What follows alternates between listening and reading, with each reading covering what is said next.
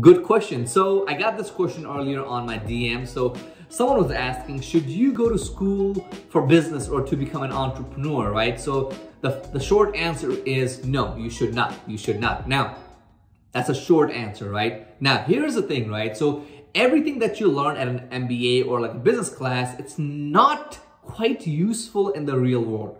Let's be honest. Okay, so it's nothing like the text, you know, textbook that they teach you, right? Uh, because in the real world, it, that's not how it works. That, that's number one.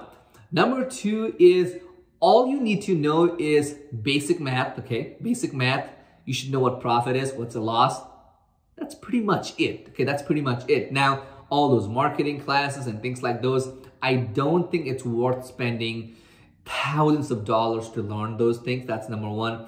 And the second thing is that even if you learn it at the, all those things at school, right? Those things don't really apply in the, for example, okay, uh, I don't know which course, like I don't know which class teaches you how to run ads on Facebook, Google, and things like that, right? Those things are, you have to learn that on your own outside or pay somebody else. That's not being offered at a university class as far as I know. So those things, right? And to collect customers and things like that, these things you have to practice in real life to actually learn, okay? The reason why I would recommend you go to uh, get an MBA is for networking, okay? So thing is, right, if you want to stay in this game, you have to know people, you have to have connections for investors to, you know, have like-minded people getting, you know, good uh, uh, employees and, in a network connection. So people do get an MBA, they get it from like Harvard or, you know, Ivy League. It's because they're trying to create that network, that alumni network. That's the only reason I would recommend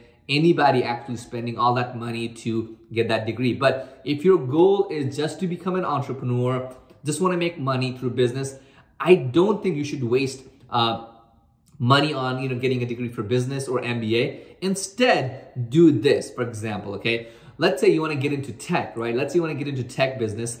Why don't you get a degree on like, you know, IT or CS? Something that you'll actually use, that's one. And number two, something that can be a plan B. Now, I'm not a big fan of plan Bs, but sometimes you do need that plan B. So for that reason, yeah, do it, okay? But, you know, if you're trying to just, you know, become that big, big, big, uh, uh, you know, um, entrepreneur and you think going to a business class is actually going to help you, trust me, okay?